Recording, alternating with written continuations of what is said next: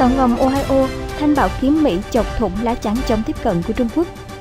Quý vị thân mến, tàu ngầm hạt nhân lớp Ohio là loại tàu ngầm lớn nhất trong biên chế Hải quân Mỹ, với khả năng hoạt động không giới hạn, chạy êm.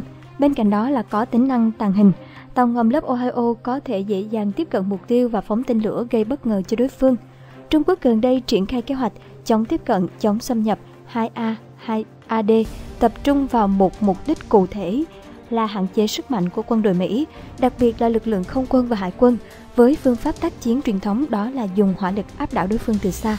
Trong chiến thuật này, Trung Quốc lựa chọn vũ khí hàng đầu của họ là Đông Phong 21D, DF-21D, loại tên lửa đạn đạo chống hạm được bắn kinh tung hô này là sát thủ tàu sân bay với tầm bắn lên tới 1.500 cây số. DF-21D đủ sức ngăn chặn các biên đội tàu sân bay và tàu tên lửa tiếp cận tiến công lãnh thổ Trung Quốc. Như vậy, trong ngày đầu chiến dịch, sức mạnh sở trường của Mỹ là từ các tàu sân bay và tàu tên lửa đã không thể tham gia. Gánh nặng lúc này chỉ còn trông chờ vào các phi đội máy bay ném bom tàng hình tầm xa như B-2 Spirit hoặc là trong tương lai sẽ có thêm B-21 Raider cùng với tên lửa Tomahawk từ một số tàu ngầm mang tên lửa hành trình tiến công mặt đất lớp Ohio. Với khả năng tàng hình và hỏa lực cực mạnh, những chiếc SSGN này được cho là thanh bảo kiếm lý tưởng có thể dễ dàng xuyên thủng A2AD của Trung Quốc hiện nay. Theo thiết kế ban đầu, tàu ngầm hạt nhân lớp Ohio được chế tạo theo triết lý của thời chiến tranh lạnh. Với mục đích trang đe hạt nhân, các tàu lớp này được chế tạo mang tên lửa đạn đạo, mỗi chiếc mang tối đa 40 quả tên lửa Trident 2. Đến năm 2000 thì tàu được cải tạo lại để có thể phóng được các loại tên lửa hành trình tiến công mặt đất Tomahawk. Sau khi chuyển đổi, một chiếc SSGN Ohio có thể mang 154 tên lửa hành trình tiến công mặt đất Tomahawk TLAM, bằng hơn một nửa tổng số tên lửa Tomahawk được Mỹ sử dụng trong chiến dịch bão táp sa mạc. Hơn nữa, một chiếc Ohio có thể phóng toàn bộ tên lửa Tomahawk chỉ trong 6 phút, khiến nó trở thành một vũ khí lý tưởng trong giai đoạn mở đầu chiến dịch phá thế A2AD của Trung Quốc.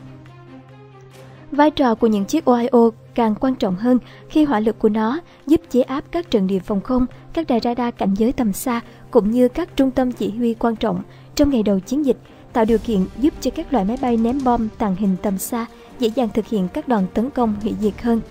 Điều này đã được thực tiễn kiểm chứng trong chiến dịch bình minh Odyssey tiến công vào Libya năm 2011.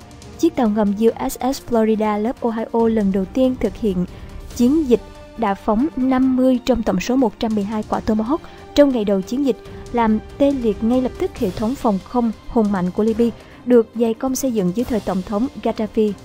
Trong toàn bộ chiến dịch kéo dài hai tuần này, chỉ riêng chiếc USS Florida đã phóng 93 trong tổng số 199 quả.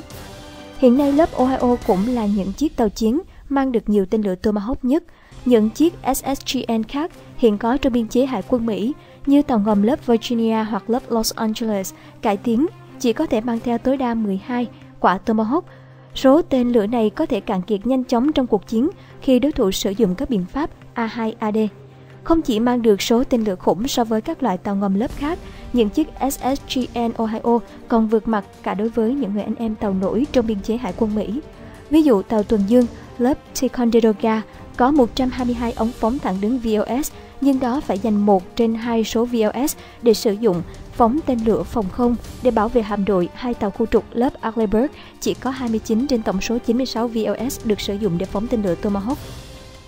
Một cụm tàu sân bay của Mỹ điển hình như bao gồm một chiếc Ticonderoga và hai chiếc Burke. Như vậy thì số tên lửa Tomahawk mà cụm tàu này mang theo không bằng một chiếc tàu ngầm lớp Ohio.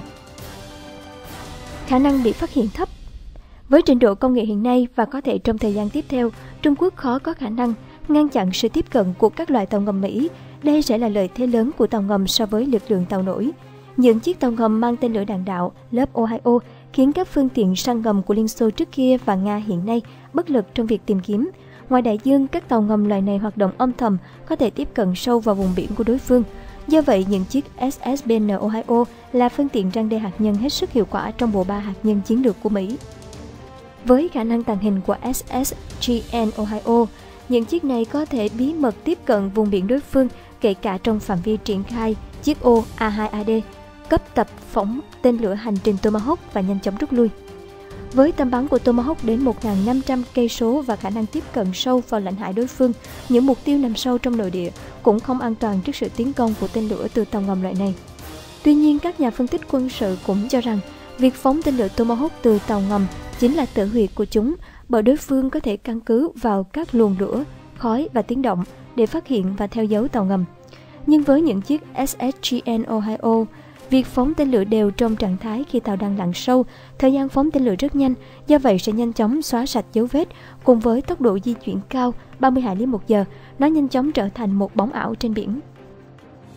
Với tất cả những ưu điểm của mình, SSGN Ohio là vũ khí lợi hại trong phá thế A2AD của đối phương, nhất là đảm bảo sức mạnh hỏa lực trong ngày đầu chiến dịch, trong một cuộc chiến tranh với các đối thủ đồng cân đồng lạng như Nga hoặc Trung Quốc. Tuy nhiên, bốn chiếc SSGN Ohio của Mỹ hiện đang phục vụ dự kiến sẽ bị loại khỏi biên chế trong giai đoạn từ năm 2023 đến 2026 mà không có sự thay thế tương tự.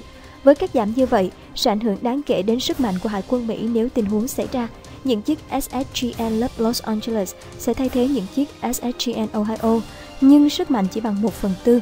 Tuy nhiên, Jerry Hendricks, Giám đốc Viện Lịch sử Hải quân Mỹ cho rằng việc Hải quân Mỹ nên tập trung ngân sách phát triển lớp tàu sân bay mới như là Gerald R. Ford sẽ tốt hơn việc đóng mới các loại tàu ngầm hạt nhân. Đồng quan điểm với Hendricks thì James Hasek, thành viên cấp cao của Trung tâm Chiến lược và An ninh Scarecroft của Bộ Quốc phòng Mỹ, cũng đưa ra ý tưởng với Hải quân Mỹ là chỉ nên tiếp tục cải tạo hai chiếc SSBN Ohio mang tên lửa đạn đạo thành phương tiện mang TLAM. Nếu ý tưởng của Hasik thành hiện thực, thì hai chiếc SSBN Ohio tiếp theo sẽ được cấu hình lại. Đó là chiếc USS Henry M. Jackson và USS Alabama, nhưng phải đến tận năm 2020-2021, hai chiếc tàu ngầm trên mới có thể bước vào trực chiến, vì việc chuyển đổi công năng sẽ phải mất từ 2 cho đến 3 năm. Do hai tàu ngầm này dự kiến loại khỏi biên chế vào năm 2026 và 2027, do đó chúng sẽ phục vụ với vai trò phóng tên lửa hành trình trong vòng chưa đầy một thập kỷ. Tuy nhiên, ý tưởng trên sẽ không thực tế vì chi phí để hoán cải một chiếc Ohio từ mang tên lửa đạn đạo sang mang tên lửa Tomahawk hết khoảng 450 triệu đô la và chắc chắn người Mỹ sẽ không tốn kinh phí cho một cuộc chuyển đổi mang lại lợi ích kinh tế ít như vậy.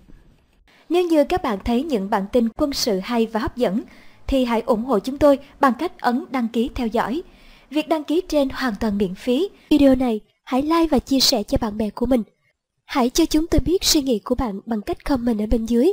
Xin chân thành cảm ơn quý vị và các bạn đã ủng hộ. Xin chào và hẹn gặp lại.